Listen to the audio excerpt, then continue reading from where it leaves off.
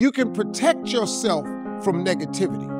And that's what stops most people negative thoughts. The way you can put a coating around your mind is with one simple thing gratitude. Gratitude erases negativity. I'm gonna show you how this works.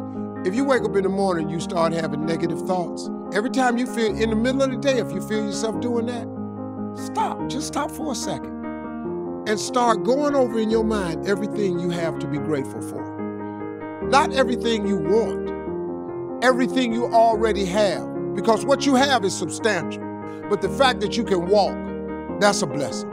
The fact that you woke up, that's another blessing. The fact that you can see, think, reason, that's another blessing. The fact that you have any measure of health, that's another blessing. And I'm just talking to you, I don't even know you. I could give you 50 things you ought to be grateful for right now. I don't even know you.